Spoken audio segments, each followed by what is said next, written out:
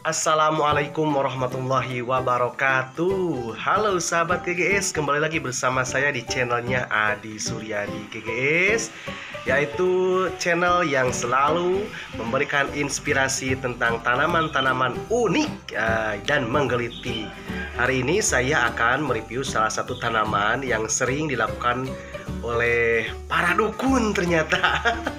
Tanaman apa ya? Nah kita lihat ya Oke guys, ikuti jalan-jalan saya. Kita menguji dan mencari tanaman tersebut. Yuk!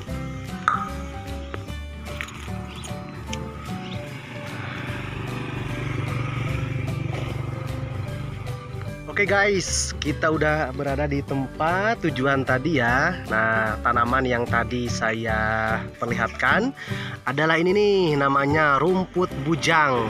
Jadi tanamannya tanaman liar seperti ini ini namanya rumput bujang ya. Bisa biasa digunakan untuk para dukun sebagai uh, media katanya uh, apa sih namanya? Aduh lupa lagi namanya apa ya? Bulu perindu ya namanya bulu perindu. Nanti kalau dipegang seperti ini dan bergerak-gerak nah itu bulu perindu. Jadi yang viral di video yaitu Marcel ya. Nah videonya yang ini nih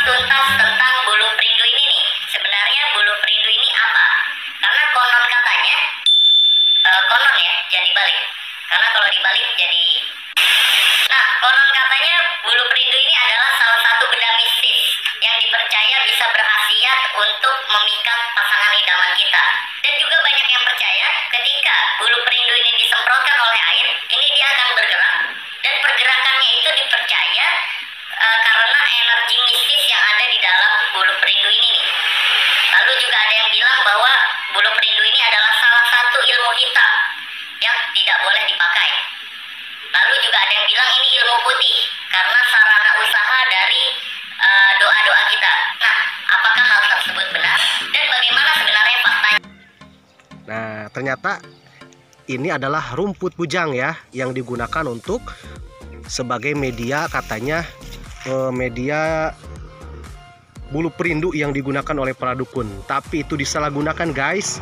Nah oke kita uji coba lagi guys seperti apa cara cara penggunaannya ya dari tanaman rumput bujang yang disalahgunakan katanya bulu perindu. Nah kita ambil aja ya guys. Ini tanamannya seperti ini nih. Ini tanaman rumput liar ya kebetulan saya ini ada di pinggir jalan lumayan ya. Banyak semak-semak seperti ini. Dan ini rumput bujang seperti ini bentuknya guys. Tuh inilah rumput bujang guys. Nah sekarang udah tahu kan? Bulu perindu itu dari apa?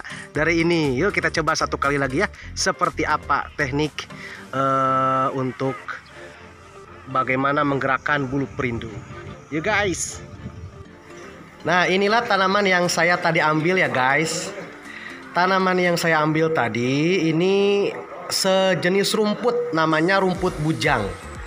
Biasanya tumbuh di sekitaran di bawah pohon bambu ataupun di sekitaran-sekitaran tanah-tanah yang agak gersang gitu ya.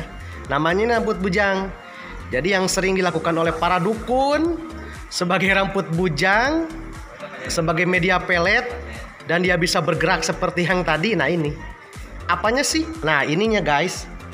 Jadi dari rambu ini jadi yang digunakannya yang sudah agak kering ataupun kalaupun basah, ini bisa ngambil terus dijemur. Nah, yang diambil itu adalah ininya nih.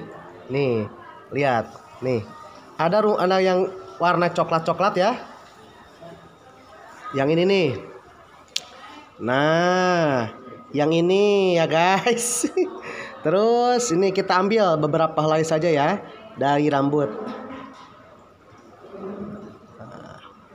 Tuh. Inilah yang sering digunakan oleh para dukun yang dinamakan dengan rumput bujang. Ataupun dengan eh, nama lainnya bulu perindu.